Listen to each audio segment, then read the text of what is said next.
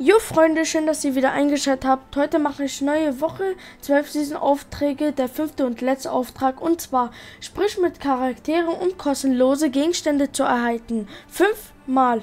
Dann würde ich sagen, fangen wir direkt an mit dem Auftrag. Ja, das ist euch. So, also als erstes landet ihr hier auf der Karte.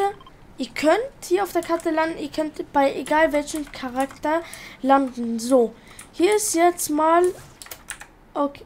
So Leute, wie gesagt, bei egal welchen NPC, ich bin jetzt auf der Karte, ganz genau hier. So, bei Genesung, so einfach hingehen und dann bekommt ihr direkt einen Gegenstand. So, zack, ihr seht, wir haben einen Gegenstand direkt erhalten. Ihr könnt nicht da hingehen und direkt so hintereinander. Ihr müsst in verschiedene Matches machen oder ihr könnt zu, jetzt zu vier andere NPCs gehen, das gleiche machen. Dann habt ihr den Auftrag auch abgeschlossen. Insgesamt fünfmal, Leute.